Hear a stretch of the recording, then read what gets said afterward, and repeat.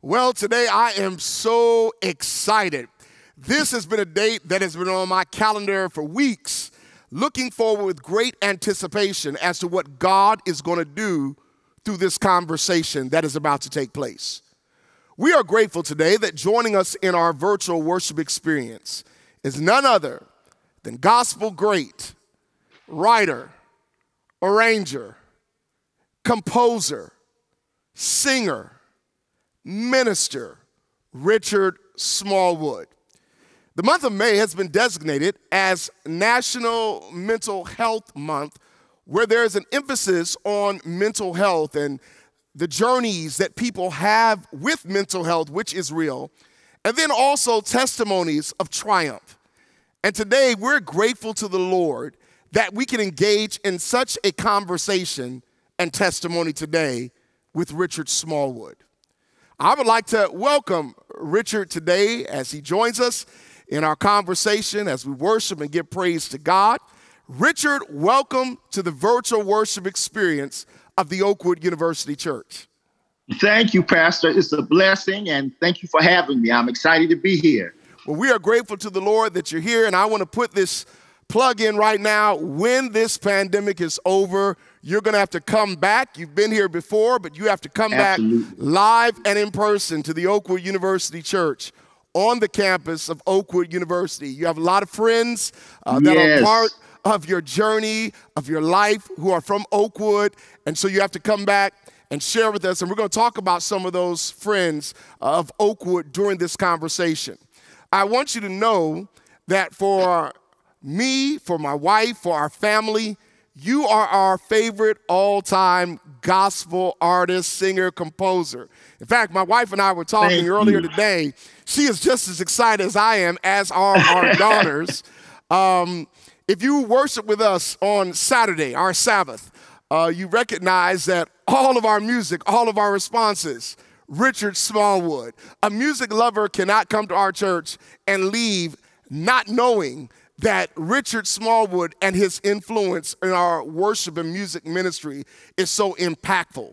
Uh, from uh. the introit, Come Before His Presence, to our prayer song, Preparation for Prayer, Healing, or I Love the Lord, or we sing now, I Trust You. All of it, Richard Smallwood, and we want to say thank you. Shameless plug uh, almost 30 years ago when I was an undergrad here at Oakwood University. It was Oakwood College then.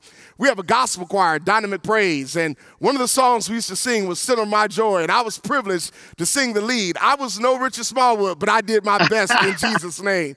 So we want oh, you to know it. you have blessed us, you have blessed our ministry, and we are excited that you're with Oakwood University Church and Breath of Life today. We don't have a lot of time, but we want to talk about your journey. We want to talk about your experience. We want to talk about mental health. A lot of individuals look at you and they say, oh, Richard Smallwood is just great. Richard Smallwood is one of means, but they don't know your story. Absolutely. They don't know absolutely. your journey. They don't know your testimony. But the good news is they're about to hear it. And so we Praise want to get right into it. And we want you to talk. We want you to be comfortable. And we want you to share. Um, a lot of people don't realize that this year, 2021, is the 25th anniversary of your famous work, your famous piece, Total Praise. And I believe churches, yeah. uh, schools across not just this nation, but across the world sing that wonderful piece, and we praise God for you. Let's get Amen. started. People see the great Richard Smallwood now, but tell us about your beginnings. Tell us about your genesis, your humble beginnings you were born in Atlanta, Georgia, not yes. necessarily reared there, son of a preacher. Tell us about the beginnings of Richard Smallwood. Yeah, I, I, I was, uh, my, my family actually is from uh, Durham, North Carolina, but I was born uh, in Atlanta, Georgia, as my stepdad, who was a pastor, was called to a church there, and I decided to make my uh, appearance uh, in Atlanta. And so we were there. I don't even remember. We were there maybe five or six months or something before we moved. But in my early uh, years, we moved around a lot. My stepfather founded different uh, churches in different cities. And of course, my mother uh, and myself, I was the only kid uh, who was raised raised as the only kid. Um, you know, he drug us around where he was going. So uh, we lived in New York, we lived in Grand Rapids, Michigan, we lived in North Carolina, we lived in New Jersey, we lived in Philadelphia, Pennsylvania, uh, until I moved to DC, where I am now, right outside of DC in Maryland, uh, and when I was 10 years old. So from the time I was born to the time I was 10, we were like traveling uh, all over the United States until um, we moved here when I was 10. Okay, so you moved there when you were 10. So your early years as a toddler and growing up were in many different cities. Your stepfather yeah. was a preacher. Uh, now, I'm a preacher's kid, like you're a preacher's kid. And so right. in, in church, preacher's kids, we're literally born in the church, if you will. So tell us right. about church life, what you can remember early on during that period. All I know is church. That's that is my entire experience is church. Um, uh, when I was probably two or something like that, my mother discovered that um, when they would bring me home from church, I would hum whatever songs they sang at church. So she got me this little uh, baby grand toy blue piano and put it in the crib. And I would hum whatever song, you know, Jesus keep me near the cross or whatever songs we sang at church and bang out the rhythms on the um, this little toy piano. So she noticed at a very early age that I was musically inclined. And so thank God she did her best to expose me to mu- classical music, all kinds of different uh, genres of music and that kind of thing. Um, and certainly um, by the time I was probably five, uh, my my stepdad had a, a a big upright piano in the house, and I would climb up on the bench of the upright piano and start picking out the melodies on the piano. So by the time I was seven, I was playing for his church. I was playing for the senior choir and directing and training and teaching parts. And so, you know, what I do, I've never known anything else. I told my mother when I was about four or five, uh, I want to be a gospel singer when I grow up, and I need a robe. So she got me this little black uh, choir robe made, and uh, somebody made it for me. And I put it on. I'd stand in front of the mirror. I sing. I play. I put on uh, recordings and pretend that I was uh, singing with whatever group was on the recording, and I was a part of of the Davis Sisters or the Roberta Martin Singers or whoever uh, I was a part of that group. It was just, I've, I've been a fanatic about music all my life. And uh, thank God, uh, one of the last things I told her before, before she left us was that I thank God for bringing me through you because you took the time to expose me to music like nobody else that I can even think of. I mean, taking me to classical concerts, uh, as well as gospel concerts, uh, uh, exposing me to Broadway music. So all, all of those kinds of genres of music were part of my growing up. She listened to people like, you know, uh, Sarah Vaughan and Ella Fitzgerald and and Nat King Cole. So I'd hear that on the radio. So all of that just sort of colored who I was to become in terms of a musician, in terms of my playing, in terms of my writing, so uh, you know, God put me with, with, with the right mama. I, I, I, hear you. The Lord knew what He was doing. Now, oh yeah, let's unpack that a little bit more. I, I remember reading in your book, you, you said you had a specific moment where you knew that God had created you to do music. And there was a song you said, "Moonlighting in Vermont." Moonlight in Vermont. Was that song that you had heard, and after hearing it, you know, as a toddler, you knew. I knew, yeah. You knew. Okay, so you knew. So now, because you knew, and I want to now weave in, if you will, uh, mental health and whatnot. You knew that because of God's calling on your life and what you were created to do in terms of music, that made you different than your classmates. mm-hmm. um, where mm-hmm. they may have been into other things. You were good in terms of engaging in music, playing the piano, singing, listening. How was that as a youngster growing up? What was that like for you? In terms of, of my gift? In terms of the fact that your interests, instead of, let's say, going out to, to play football in the street, I'm sure right. you did that, you talked right. about that. But right. in, in terms of your focus on music, your focus on being serious, in, in essence, you were an old man in a young man's body in yeah, the sense yeah. that you knew what God had called you to do. And so other things that other individuals had done or were doing, you weren't necessarily doing, but you mm were focused in on music. How was that? I mean, you know, it, it wasn't really that different because it's all that I knew. It's like, you know, if you grow up in uh, a poor environment, that's really all you know you know so you think everybody's like that so or if you grew up in a rich environment you know you think oh everybody has silver spoons and you know those kinds of things but uh it was all I knew. I mean, I had I had a lot of friends. You know, I went outside and played and stuff like that. But of course, I was a klutz when it came to sports.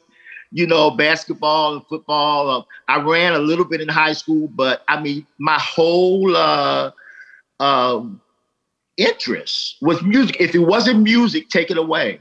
I just was not interested. And uh, I, interesting, interestingly, we lived in Paterson, New Jersey for a while. And years ago, Small was singing on the road, and I ran into some ladies who had babysat me when I lived in Paterson.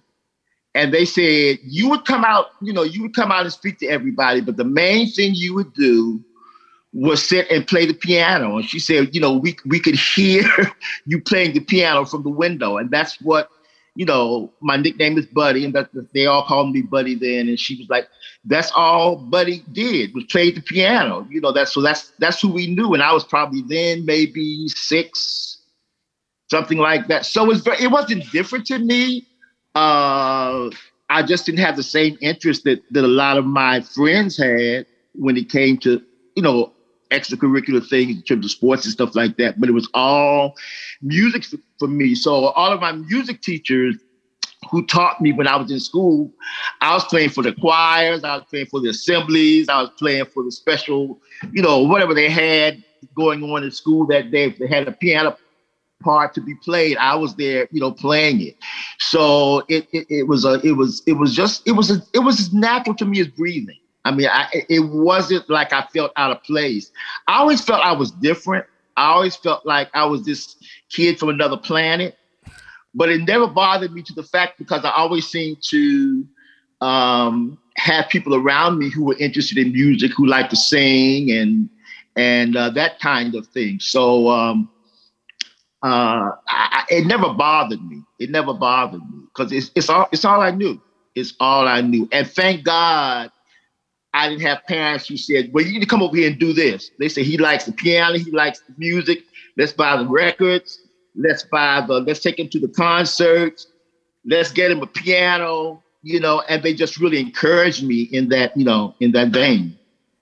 Very good. Um, it's interesting when you said buddy, that's what your friends call you. I smiled because that's my nickname. My friends right. and family affectionately know me as buddy. So that was interesting to hear you say that. Now, yeah. you, you talk of Paterson, New Jersey in your book, you talk about an experience there where you were having nightmares. Uh, yeah. The door had to be closed uh, in your bedroom. Uh, and you even say to this day, your door has to be closed. Tell us briefly a little mm. bit about that. Uh, I come from a family that was very, I would say, highly attuned to the supernatural. And this is something that uh, my grandfather before me was very highly tuned to that. Uh, my grandmother was, my mother was. And my mother says before I could even talk, we were living somewhere, and she said it was a closet door that I would point at, and I would say, ah, ah, ah, ah. And she was like, what you? She said, I'd be pointing at something, and she was looking, trying to see, you know, what, what was it that I saw? And I saw something that she couldn't see, and she said it used to terrify her because I would see things, I would hear things. Uh, and in in um, in Paterson, it was this house that uh, is actually a nightmare when I think about it because I, I, would see um, uh, what I believe to be spirits. I think there was something wrong with that house, and uh, I would hear people calling my name. It was just crazy, and and I think that you know people who are highly uh, uh um, exposed or are gifted in music, uh, they they sort of maybe operate on a different level okay. than than other folk, you know, and they they're very sensitive. I, this I remember one night this this huge huge guy just came in my room. Uh, his eyes were evil, and I started screaming, and my parents got up, started running to my room when they, they heard me hollering. And as they start hollering, he started turning to like a gray smoke, and then he just sort of vanished. And my stepdad was looking under the bed. He thought somebody had broken in. And I was just inconsolable, you know. So I've, I've had those kinds of things all my life. Thank God I don't have them as bad as I used to, but I've always very, been very sensitive to the spiritual realm, I should say. Um, and uh, so I had some very uh, frightening experiences, which I talk about in the book. Um, you know, throughout my life in that you know in that area. In your book, and it's also well documented through other sources that you have a great love and respect for your mother. But in your book, you also talk about the severe beatings you received yeah. at the hands of your stepfather. Yes. And how that impacted your life and almost in your mind, in addition to what you just described, you experienced throughout your life, but also in your adolescence, how on one side you loved him, and on the other side you didn't mm. because of his uh, behavior and treatment towards you. Um, tell us a little bit about that. It was hard. I mean, from day one, as far back as I can remember, the beatings started. And I'm, I've, I've never been a bad child. Only thing I've always been stubborn. always had a stubborn streak. But I was always obedient to, you know, to my parents. And uh, I don't even remember what the beatings were about. Because like I said, I wasn't a bad child, but he he would find it seems like whatever he could to just beat me, you know and the music uh, became like a cushion or a safe haven where I could run to after those beatings. I had I had I had my music, and my mom gave me a teddy bear when I was three that I still have. And that teddy bear was the person I would tell, or the person, or the animal, or the stuffed animal that I would tell about how he beat me. And then once I'd get that out, I'd either put on music um, or I, I would uh, play the piano or because I began to pick up whatever I heard on the radio, I could pick it up and basically play it. So that became my my my safety, my my shield, my my uh, my protection from the beatings, you know, and the things of that nature. And because of that, um, I started having anxiety issues at very, very early age. As far back as I can remember, I've been anxiety ridden. And of course, we didn't know what anxiety was back then. You know, uh, I just know I was very anxious, very on edge a lot of the times, and, and frightened of him, of course. So there was a, you know, there was a love hate kind of relationship. I mean, I respected him and I loved him because I thought I didn't know he was my stepfather. I thought he right. was my real father, you know. And uh, I loved him on one hand, but I disliked him intensely on the other hand. So that that that that uh, that pull was very hard for me to try to figure out as a kid growing up. Okay, so you dealt with the beatings, which is tough for any kid.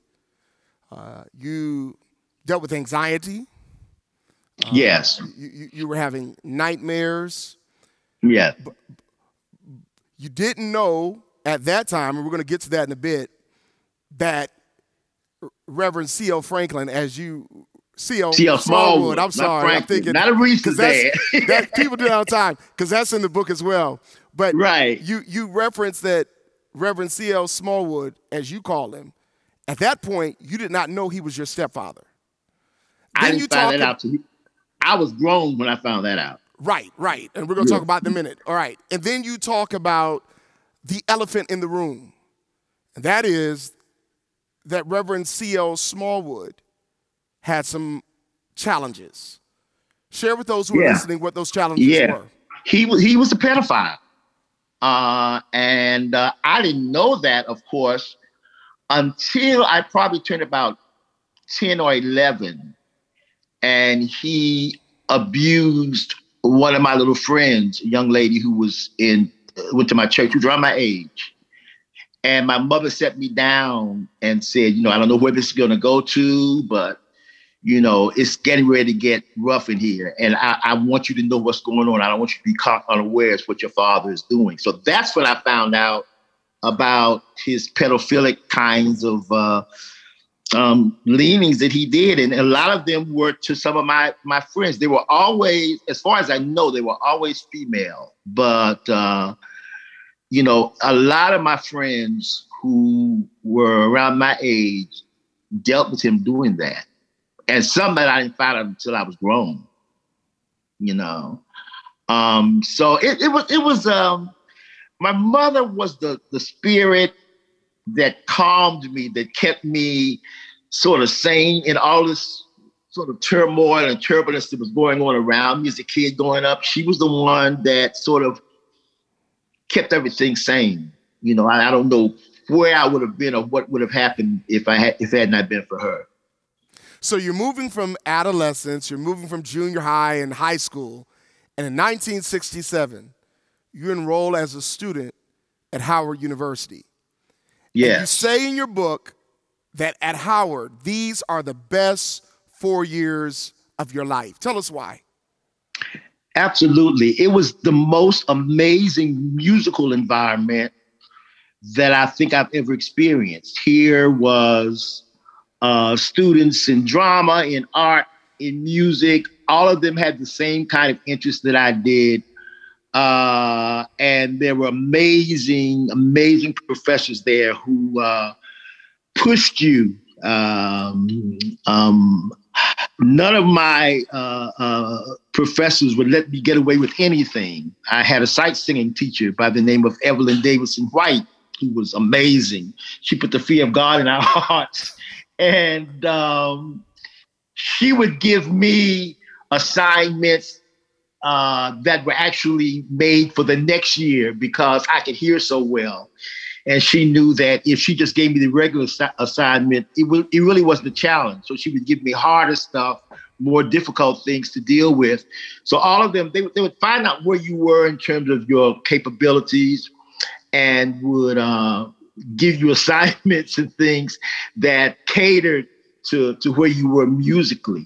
Of course, there were people there like um, Donny Hathaway, uh, Phylicia Rashad, uh, Jessye Norman graduated the year before I got there. Uh, Debbie Allen, uh, th- who's in my class. Um, there were so many amazing uh, gifts there. Uh, Donny would uh, set me down at the piano and show me chords that I'd never heard before. Um, I came from a background where there are certain chords you couldn't play in church. If they were too jazzy or too bluesy, they were you were um, uh, you were told that you were being this was not a club and you can play those kinds of chords. Those devil satanic chords in church. And Donny sort of showed me how to integrate chords that really weren't your your your basic gospel chords in my music, which not only helped me playing in church, but it it, it uh, expanded my chord vocabulary in terms of when I began to write and chords that, that most people didn't use. So some classical kinds of things. Um, so it was an amazing, an amazing uh, environment. Um, I decided I was going to party uh, one semester instead of going to class, and that's what I did. And at the end of that semester, Mr. Uh, uh Dr. Thomas Kerr, who was my piano teacher, said, "Well, you will no longer be a piano major." I was a piano major, and you you could not come half stepping if you were a piano major. He said, uh, the kind of uh, the, the, caliber of student that you have uh, lowered yourself to is not the kind that I will be teaching. So you find yourself another major.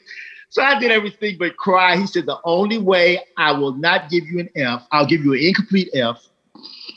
You're going to have to come to summer school for four weeks.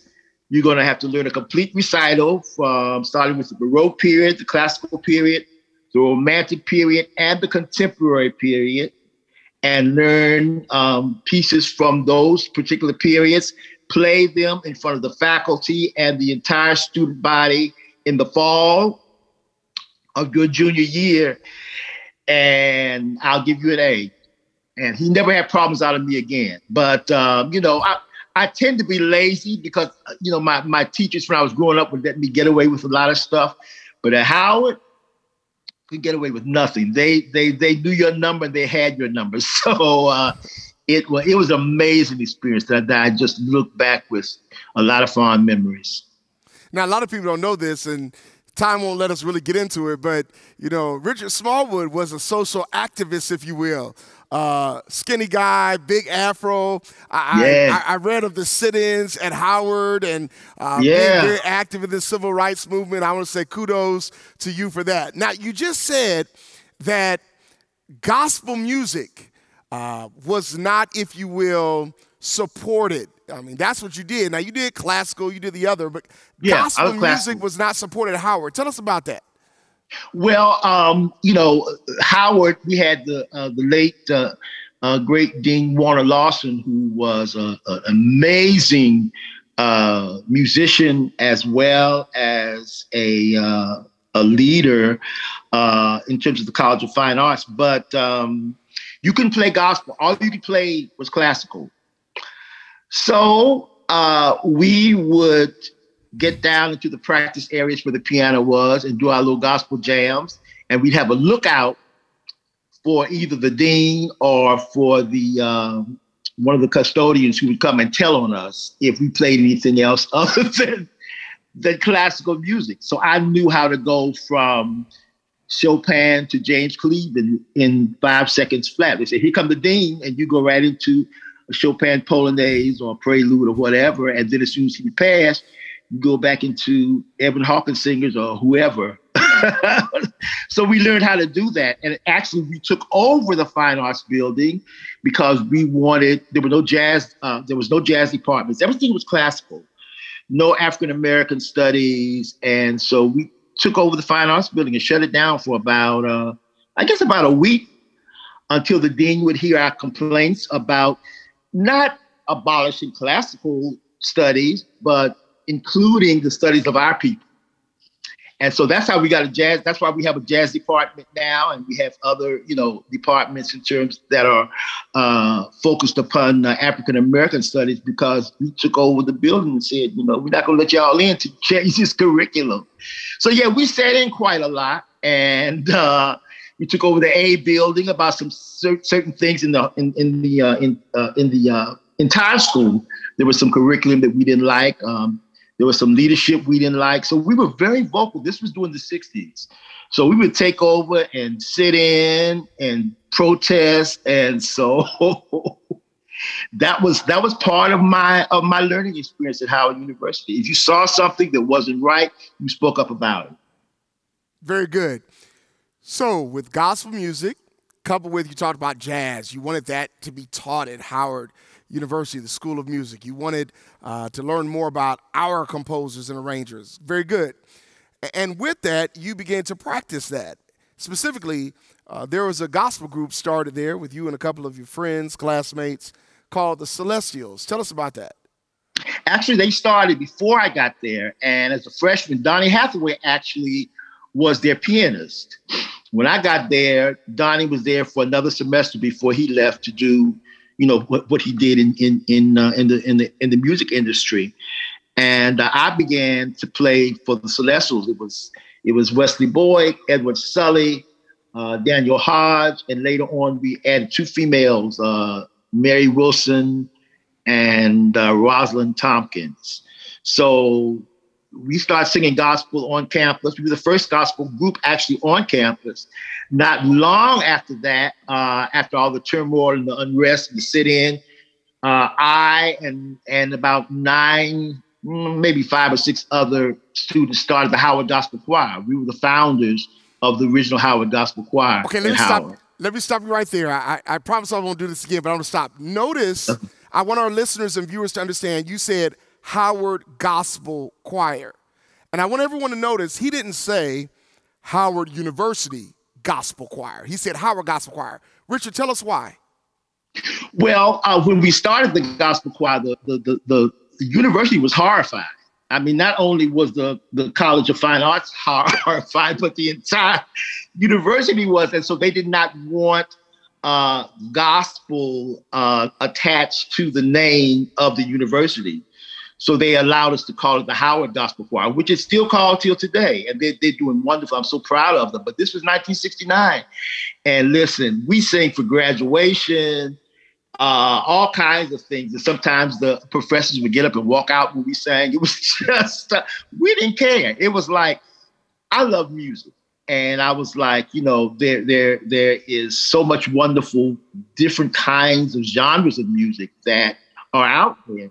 So why should I just sing or play just one? You know, so uh, that's how the, that's how Howard's gospel choir started. Um, with that, right after we did the uh, set in for uh, Howard for the uh, College of Fine Arts, we started the gospel choir. Had a revival uh, service one night. Had one of the uh, um, guys from the a student who was from the um, School of Divinity to preach, and we had about 250 or 300 folk in the gospel choir, and, and it was so successful, and people started hearing about it that we decided to make it an ongoing thing. So we have the Celestial singing, who was the first gospel choir, I mean, gospel group on Howard's campus. And then we had the, uh, the Howard Gospel Choir. And about two years later, we had the jazz department headed by the late, great Donald Byrd. Uh, and so, I mean, things began to change in terms of, of what we were allowed to do at Howard. We, we, we were pretty radical. You're radical. You're radical. And, it, and it's amazing people look at your music, and I'm pretty sure they said, as, as, you quoted, that it was contemporary. And now people look at your music and they say it's traditional. It's, traditional. yeah. It, it's yeah. amazing how things uh, change over time, genres and people's preferences and their perceptions Absolutely. as it relates to the type of music. All right, so we go from the Celestials to Howard Gospel Choir.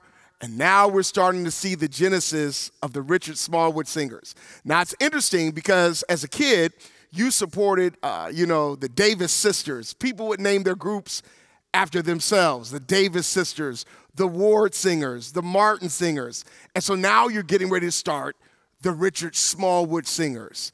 How, how does that begin? What's that genesis like? Well, actually, when I was 11, uh, I formed the first Smallwood singers. We were all like between 11 and 13 years old. At 11 years old, the Richard Smallwood 11 singers. years old. We had the Richard Smallwood singers, and we sang all around the uh, uh, the district, Maryland and Virginia area. Um, and we were these little kids, you know, I played the piano. They could really, really sing. And, and uh, that's where it really started. Um, of course, we only stayed together probably until I got to high school, and then uh, we, we, didn't sing anymore. But when I started the Smallwood, the, these Smallwood singers, recording Smallwood singers, actually that was started out of the last church that my stepfather founded, which was Union Temple Baptist Church. Uh, he passed uh, two months after I graduated from Howard undergrad. So he, he, he passed in August. Uh, and we were, th- we were without a pastor, and I began to get some of the kids at Howard to come over and sing on Sunday mornings and stuff like that. And uh, the Smallwood Singers was birthed out of that young adult choir that was at Union Temple. So that's how the whole Smallwood Singers. I just and, and somebody told me, a I had a friend of mine who was an attorney, and I was trying to come up with this some kind of wonderful name, something very biblical or something. She said, call them the Smallwood Singers. She says, because you are the brand. You can get five dogs from the pound to come and be the small Smallwood singers, but your name will always be out front. And I said, no, I don't want my name. She's like, no, Richard, call them the small Smallwood singers because you're going to be the name. You're going to be the brand. So that's how it really, really started. And, um, you know, the rest in terms of the Smallwood singers is, is sort of history. That's, that's how it started um, in terms of me really getting into the industry uh, and recording and that, and that kind of thing. So Smallwood Singers, uh, they're born, uh, I, I, should say reborn, if you will. And yes. they're traveling across the United States, traveling internationally. Um, you're a blessing to so many people. Uh, your writing, your arranging, your music, your ministry. People are sharing with you their testimonies. But what many people don't know is they think that instantaneously uh, you were receiving great economic or monetary benefits. But as you chronicle, you, you, share how they were very humble, uh, sleeping on floors in people's homes. In fact, uh, many within our, our faith group, the Seventh day Adventist Church, uh, don't know, but you referenced that you went to San Diego, California and sang at one of our yeah. churches. And you stayed yeah. in the home uh, of one of our former pastors in our church, uh, Elder Shelton Kilby. Elder Kilby, he, exactly. Elder Kilby. He and, and his wife. And, tell us, yeah, tell us about, tell the viewers about that musical performance, if you will, at our Seventh Day Adventist Church. T- tell us about that. Oh, um, we had known Shelton for for a while, and so we went to California uh, to get you know to sing at some different churches and stuff like that. We sell, we, we, we slept in sleeping bags on Shelton's uh, and his wife's floor in their home.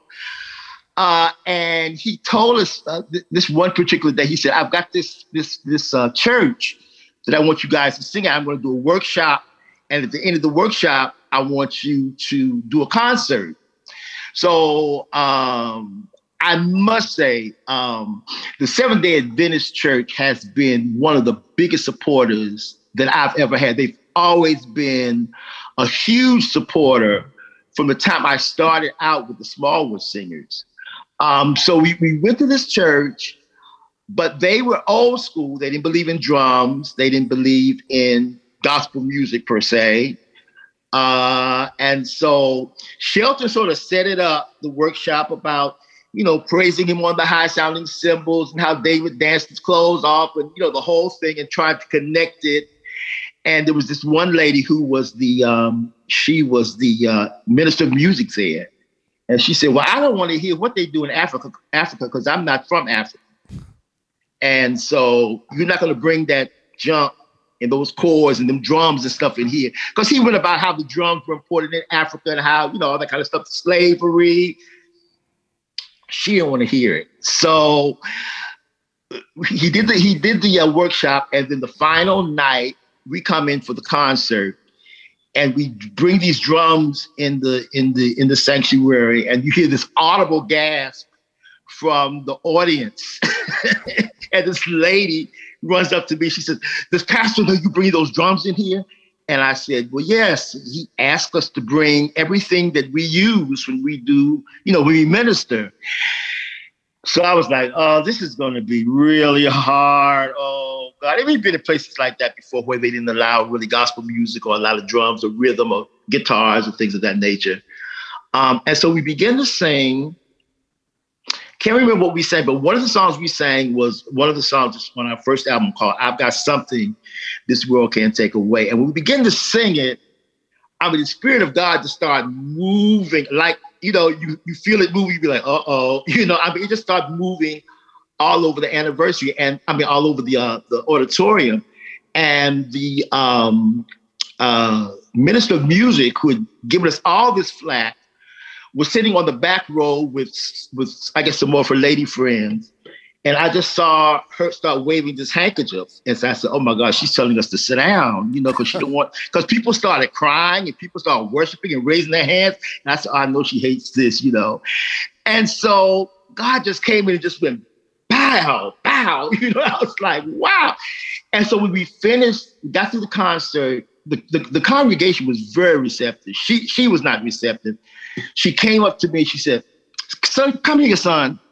And I said, yes, ma'am. I said, oh, Lord, she won't let us have. She said, where are your albums? I said, well, man, we haven't recorded yet. We just thought, she said, listen, when you get that first album, I want you to call this church and ship some of those albums out, out, out here to this church because we need to hear that music.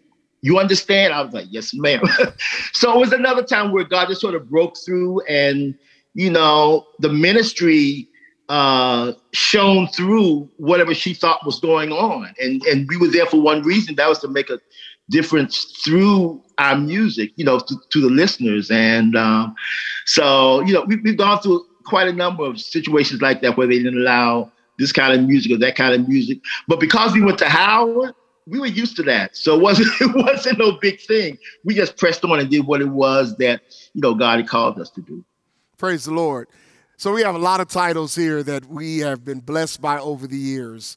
Uh, you mentioned one, I've got something this world can't take away. He won't leave you. Of course, I love the Lord. And, and you begin to just write songs. Jesus, you're the center of my joy. And all these songs were ministering to millions of people.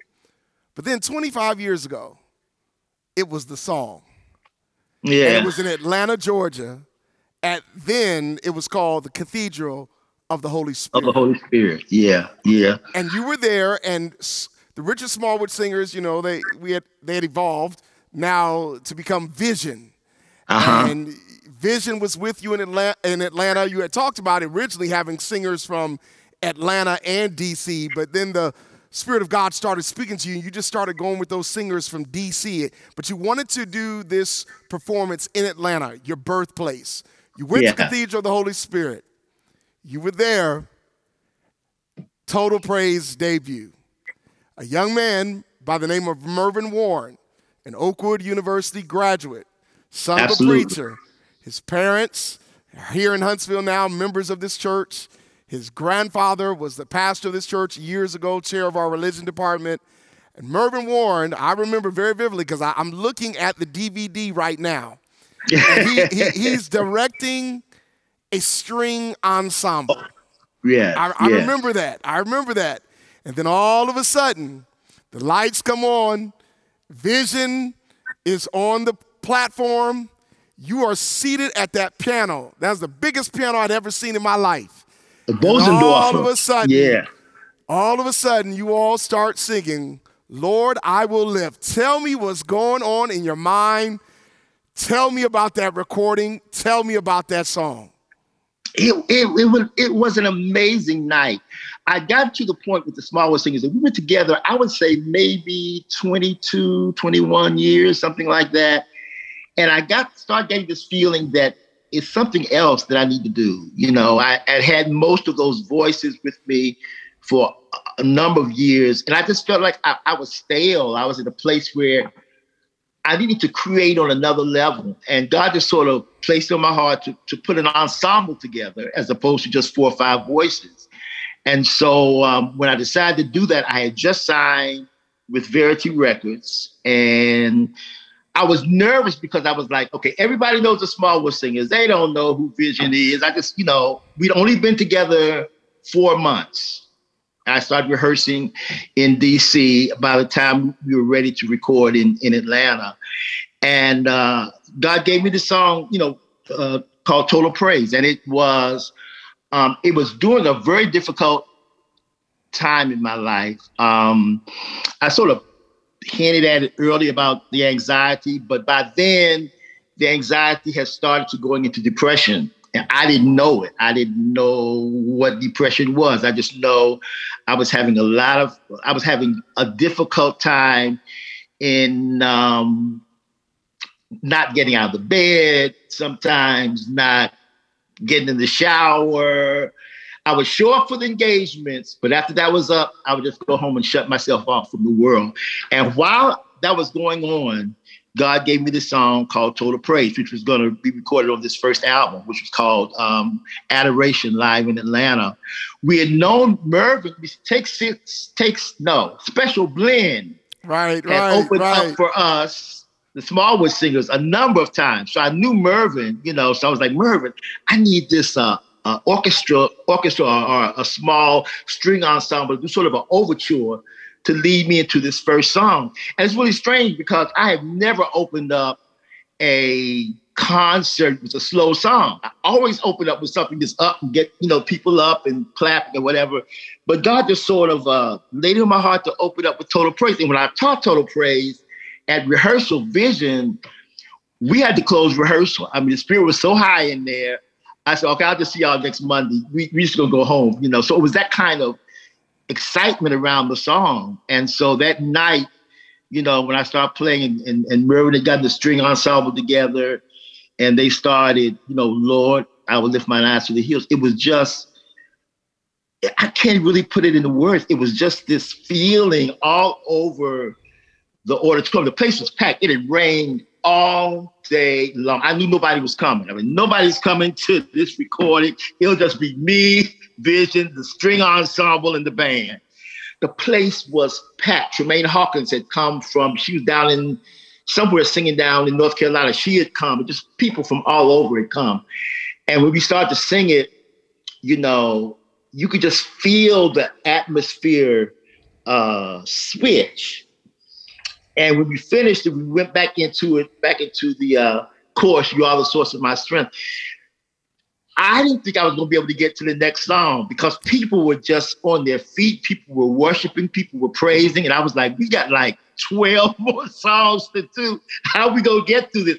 And I just had to sort of shut it down and lead it to the next song, which I think was Bless the Lord on my soul. And uh, I had no idea what song that got uh, or, or the or the I guess the strength of that song that God had given me. I mean, that song that's been 25 years ago that it was released, uh, and um, that song has gone all over the world.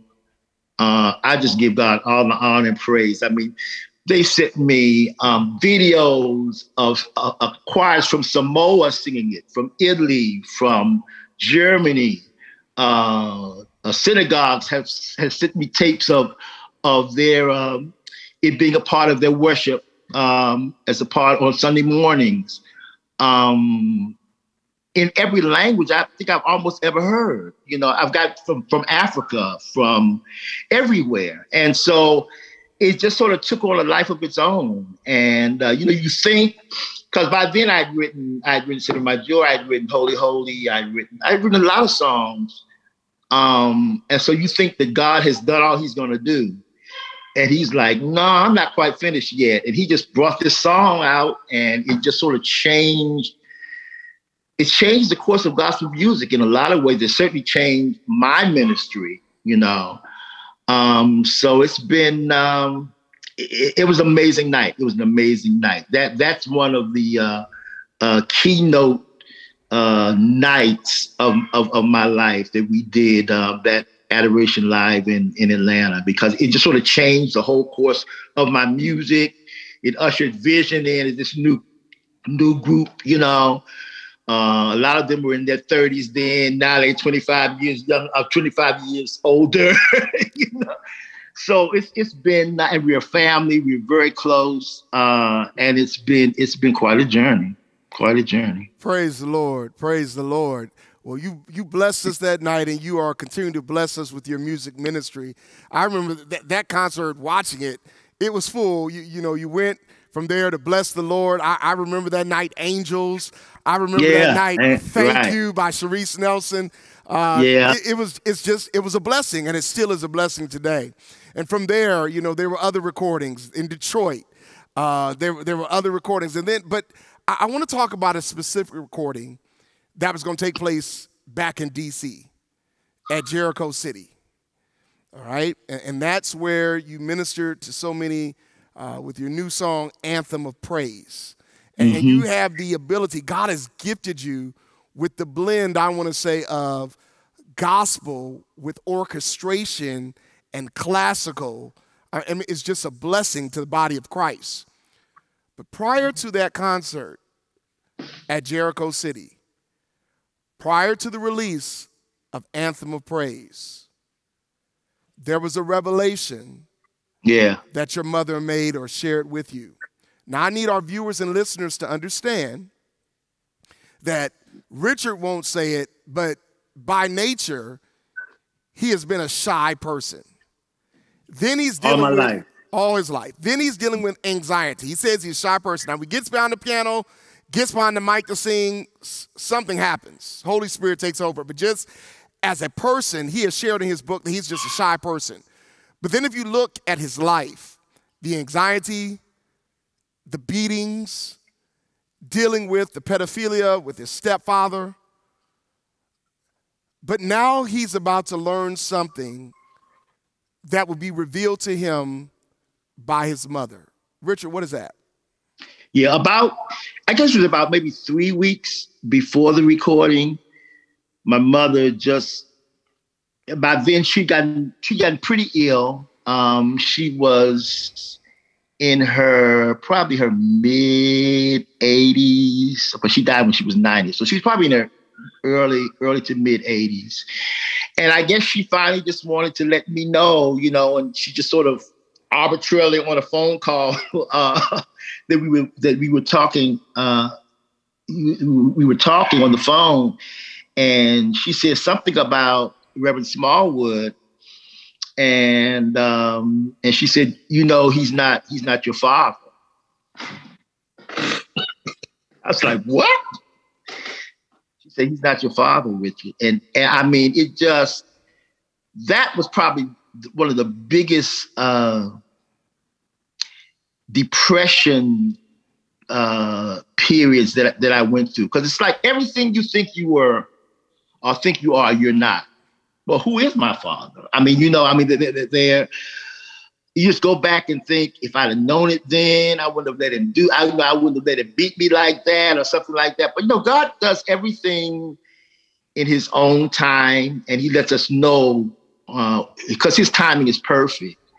Uh, but it was hard for me to get through that concert. And I remember saying, I just wanted to cancel the concert. I was just like, and this was, you know, uh, Lord, you're my everything. Um, Praise waiting. Um, I did, I did the uh, the Blessed Assurance uh, piano solo. I did uh, Anthem of Praise. The orchestra was there. Everybody was there, and I was just like, "Let's shut this down and just go home. I don't want to do it." But it was too. It was too late, and uh, so finally, um, you know, my my my. I talked to my record label about. It. They said, "Richie, you can do it. You can do it. You can do it."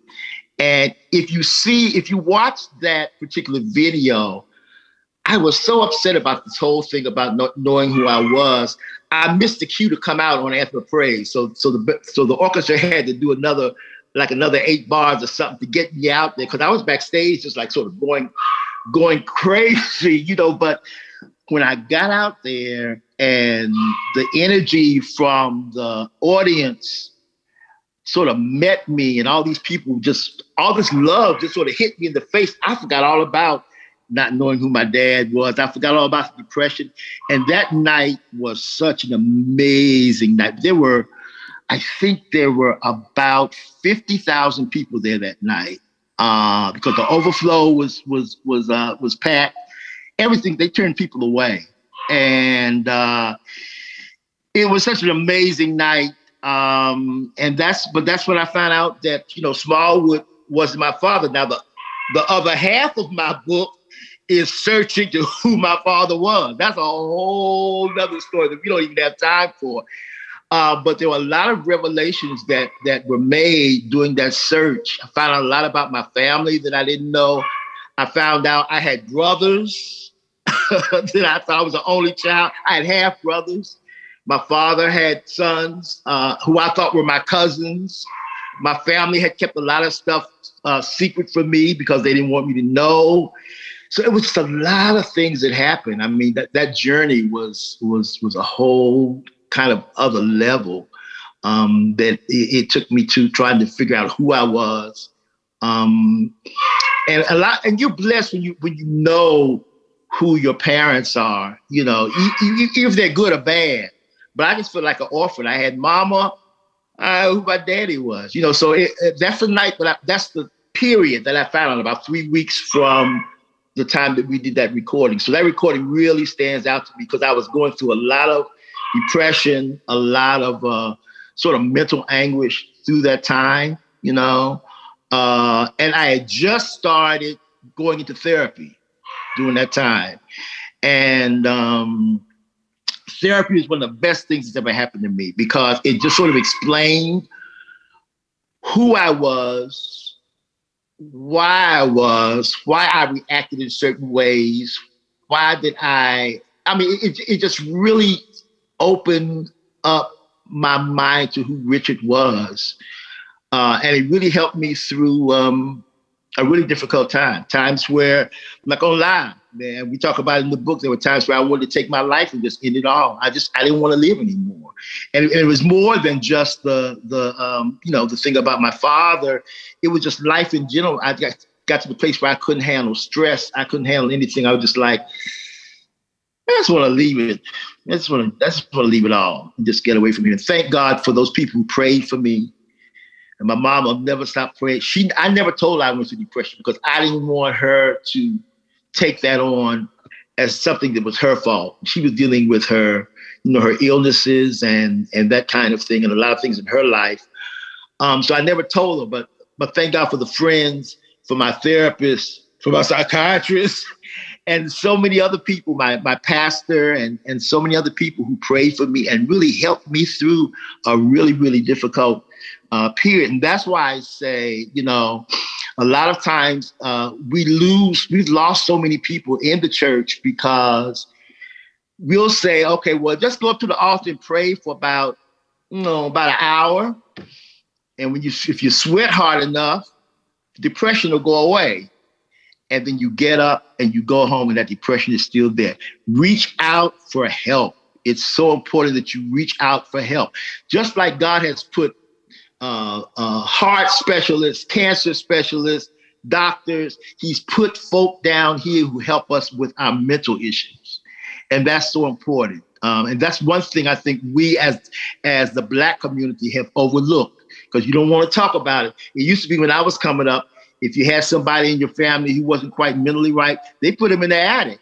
You wouldn't see him, you know. So uh, it, has been quite a revelation to me, and it's it's given me an opportunity to talk about mental health on many, many different levels. To go to churches, to go to conventions, uh, and talk about it, how the important is taking how the, how it's so important to take care of our mental health as well as take care of our physical health. Yeah, you get your physical, you know, once a year or whatever, but what's going on with your mind?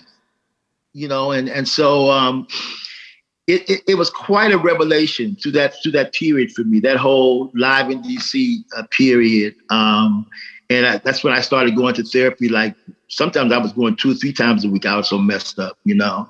Um, and you know, I remember um, I, I, came through a very uh, a, a strange situation.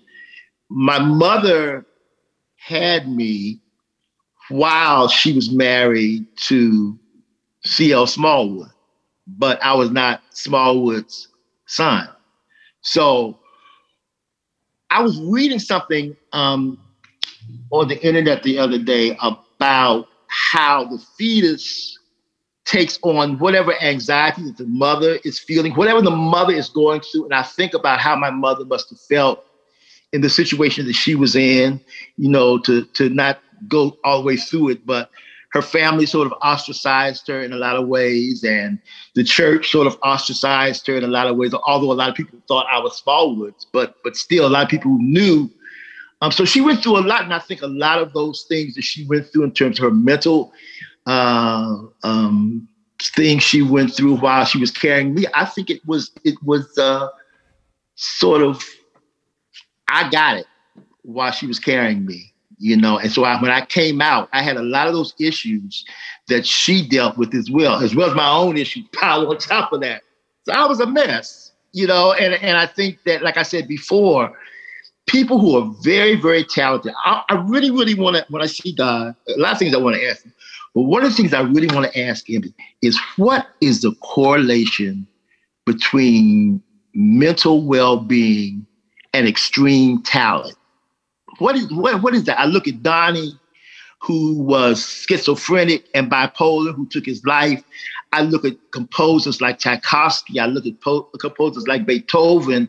I look at, at comedians like Robin Williams. I mean, I, I mean, it's just some kind of connection with that mental, those mental issues with people who are super, super, super gifted. I've seen, I saw it at Howard. I saw it in friends of mine who dealt with it, you know? And so it behooves us to really, really take care of our mental health as, as well, um, because that's a part of this this this temporary um, shell that we're living in. Not only to make sure our hearts are beating right and we're eating the right things, but the right things are going in our minds, and somebody is, is there to sort of help us sort stuff out when we can. Amen. Uh, you've ministered to a lot of people with your response. And I want to encourage those who are watching, those who are listening. If you have some challenges, depression is real. Amen. Anxiety is real. And, you know, Richard Smallwood has been very transparent with us today because a lot of people would think, oh, he would never deal with this. He's famous artist, famous writer, famous singer. But he's a human being just like you and me. Absolutely. If you're having these challenges, seek help, professional help, if you can, counselor, a psychiatrist, a therapist, pastor. Uh, seek help. We're winding down in our conversation, but uh, we, we go from this point now in your journey God has blessed you. Uh, Grammy Awards, Stellar Awards, Gospel Music Hall of Fame. But then it's coming to the golden and seasoned twilight years of your mother's life, your rock.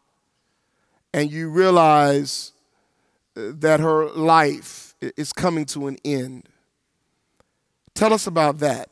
And that comes on the heels, if you will, of the revelation of who your father, your birth father is. Your yeah. mother is getting ill. What's going on now?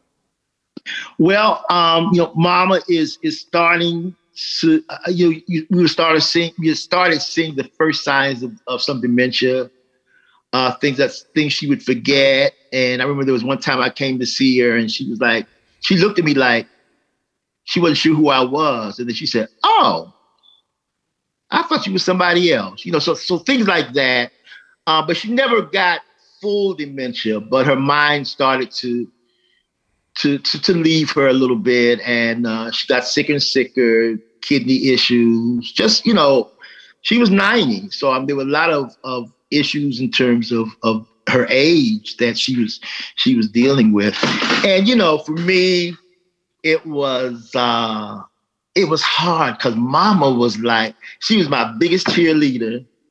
She was like, every grad, everything. I she graduated from kindergarten, elementary school, junior high school, high school, Howard. Went to uh, went to grad school and got my master's of divinity at Howard. She was there for that. Everything, every big concert.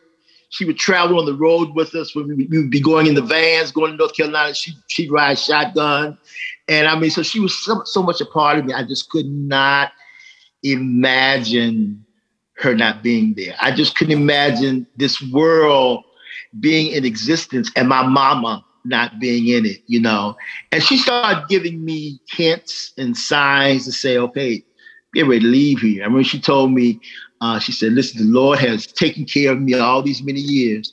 And he's going to take care of you the same way he took care of me, you know, and, and things of that nature. But I was sort of in denial. And, uh, I don't know if I'd want to go through it again, but I was actually there when she transitioned. Uh, I had gone to get something to eat. I by, by, this time she was in a nursing home. I'd gone to get me something to eat and came back. And one of the ladies at the nursing home said, "Hurry up and get to your mom's room. She's leaving." And I was like, "What you mean she's leaving?" She, she said, "No, she, she's getting ready to go." And I'd never seen uh, anyone transition in my life before, and especially not my mom you know this this woman who encouraged me who made sacrifices for me who who went without you know things to eat and clothing so that i could i could be you know um so that was hard and when i got back to the room i could tell she would she could she didn't recognize i was there her eyes had sort of sat that had sort of set to the to the to the right, and she was looking in the corner. And I tried to get in front of her and, and get her to focus on me, and she would she would look straight to me. And so, you know, honestly, I just broke. And the nurse who was there, he came in, a gentleman from Africa. He came. He said, he said, Mr. Smallwood. He said, this is the most intimate moment you could have with your mama. She ushered you in the world and, and get understand that this she left one day after my birthday. She was supposed to leave the day of my birthday, so the doctor said. But she waited because I would have never celebrated my birthday again if she didn't see the left of my birthday. Uh, the day after my birthday, she had, you know, she had ushered me in, and he said, "Now here's the way you can usher out. Sing something to her."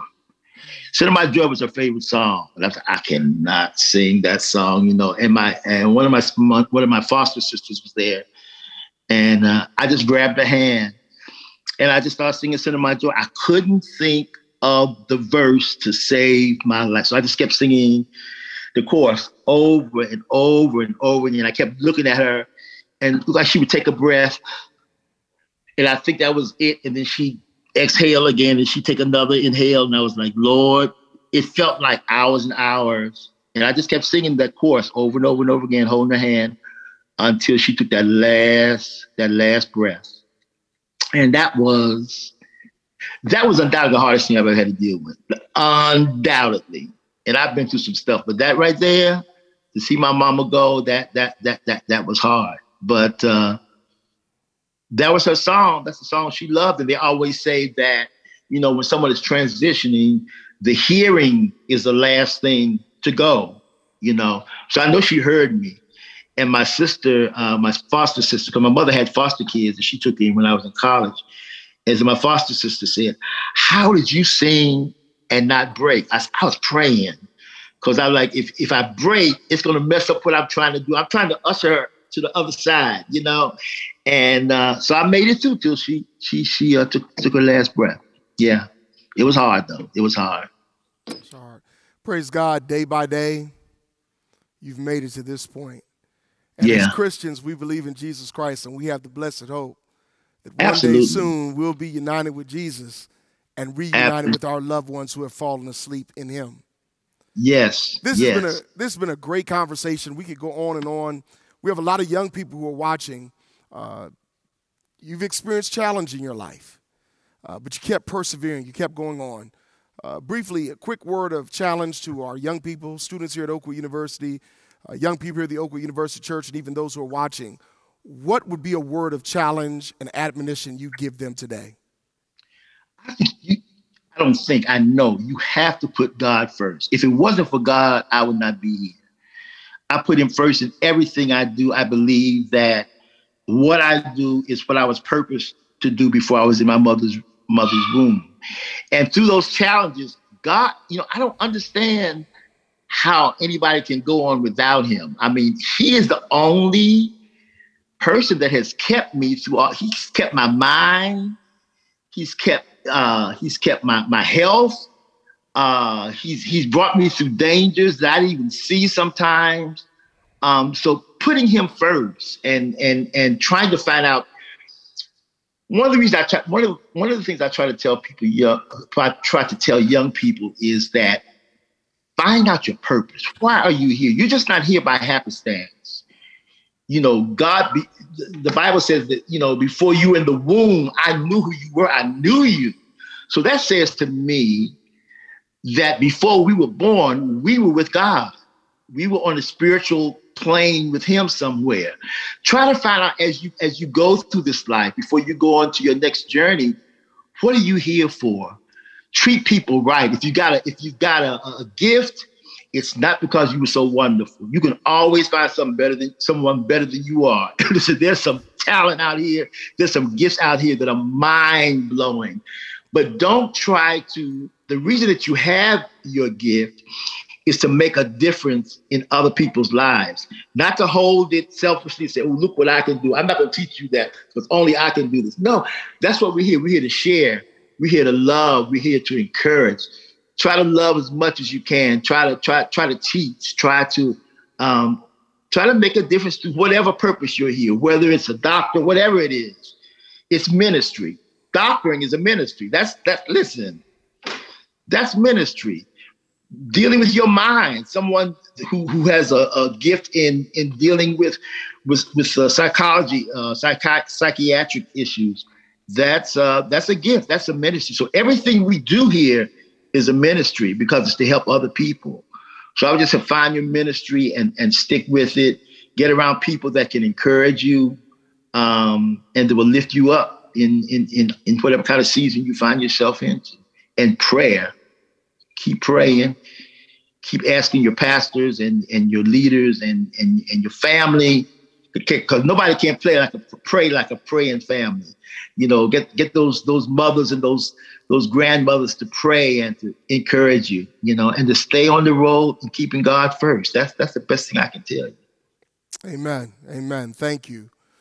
Well, you have some good news to share. Um, one of your classmates, one of your friends, uh, Phylicia Rashad, uh, there's some good news about her. In fact, she wrote the foreword to your book uh, to my book, yeah. your autobiography, Total Praise. But tell us some good news right now. It was just announced this morning that Phylicia is going to be the new dean of the College of Fine Arts at Howard University.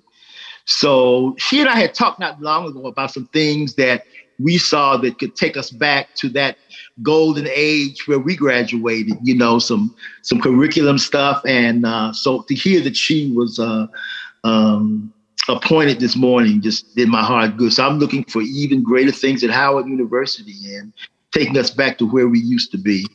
Uh, and, and, and producing the kind of students and the kind of artists and the kind of minds that were produced when uh, you know we came through there. And of course, there have been some like the, the late amazing, amazing Chadwick Boseman who came through Howard University as well. You know, so there's there've always been wonderful minds and, and wonderful gifts that have come through there. But I'm so I'm so excited about Phylicia being there because I think she can direct us to that next level where we need to be. That sounds great. And please, please share our congratulations to her as well. What's on the horizon in the near future for Richard Smallwood? Because I don't think God's done with you yet. What's what's on the horizon? Well, you know, right now I have really been focusing on the book. Um, we started, actually, we started a book tour right before the pandemic hit. I mean, I was on my, I was getting ready to go on a plane to go to Atlanta, and they called me and said everything is canceled. Go in your house, lock the door, don't come out. you know, so the middle of the, the beginning of the book tour was canceled. I want to get back to that and share my my uh, my book and my ministry and what I've learned and my wisdom with people all over the country. Um, that's that that's what I want to do. Um, it's been a hard year, two years almost. You know, 2020 and 2021 has been really really difficult. Seeing the uh, the, the the injustice um, for so many of our African American men and women and young boys and, and, young girls has been difficult. And you know, people keep asking me, "So you got to write? Have you written something that that uh, that deals with this?" And I'm like, you know what? I'm just sort of sitting, taking it all in, um, and I'm going to see what God does. I know there's there's some music there. I started some music before the pandemic started but um, you know, we'll see what happens. I, I, think I'm sort of ready to sort of get in the studio and do a little something, something. But we we shall see. We shall see. Well, let me just say this, and I can't order your life, but you say you you want to share your wisdom and your book and your ministry with others. Yeah. Put Oakwood University Church, Huntsville, Alabama, on that list of cities. Absolutely, that you will you go know, to. You got you guys are my favorite. all right, I've, I'm coming to, to that. Oakwood for so long and so I can't wait to get back. That that would be great. Yeah, yeah. Great. Well, we are going to hold you to that. We're looking forward to it. Uh, come down to Huntsville, Alabama, when things open up fully and uh, they're more safe, if you will. Uh, yes. You know, we want you to come down and share your ministry, share your book, and just come see the people. And, you know, maybe you can sing Total Praise. Maybe you can sing Center My Joy. Maybe Anthem Praise. Maybe He Won't Leave You. I Trust You. And I could go on and on. but we enjoy your ministry and we've enjoyed our conversation with you today. On behalf of myself, thank you so much. My wife Danielle, our three daughters, our pastoral staff, our church membership, our entire Oakwood University Church family, the Breath of Life family, and the Seventh day Adventist Church. We want to say thank you, thank you, thank you. God bless you. Know that you have friends at Oakwood University and Oakwood University Church. Know that you have friends in the Seventh day Adventist Church. And we are looking forward to seeing you in person very, very soon. Thank you so much. This has been a wonderful event, and I'm just so glad that you guys invited me, and I love you guys so much. Look forward to seeing you real soon. Thank you very much. Well, you've heard it. Richard Smallwood himself. We thank the Lord for this time that we've had to be able to share in conversation. Again, May is National Mental Health Month. If you need help, get help. And don't be ashamed to get help. In commemoration of the 25th anniversary of the song by Richard Smallwood, Total Praise, also in praise to our God, we are grateful today that our Minister of Music, Dr. Jason Ferdinand, who is also Director of Choral Activities and the Chair of the Department of Music at Oakwood University, and a former staff member of Metropolitan Baptist Church there in Washington, D.C., where Richard Smallwood is an artist in residence. They work together there. He and our team of musicians here at the Oakwood University Church have put together a tribute to the ministry of Richard Smallwood, as well as praise to our God. They're going to engage in this musical rendition, and joining them is also guest singer and soloist Stevie Mackey, along with string ensemble and vocal ensemble. After they would have shared their music ministry, yours truly will return and we will preach the word of God. But now, let's give God our total praise.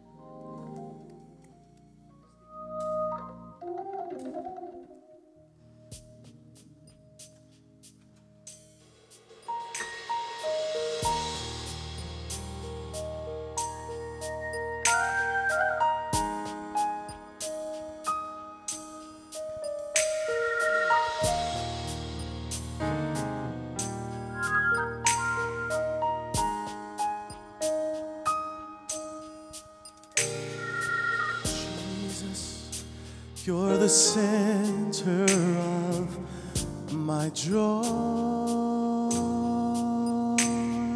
and all that's good and perfect comes from you.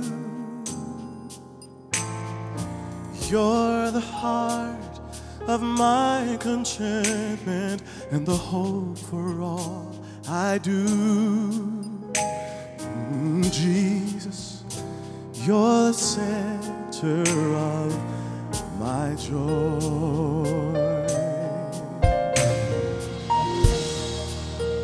I've lost my direction. You're the compass for my way. You're the fire and the light when nights are long and cold.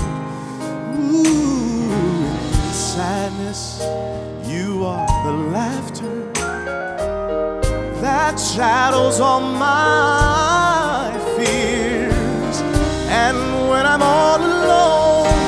your hand is there to hold.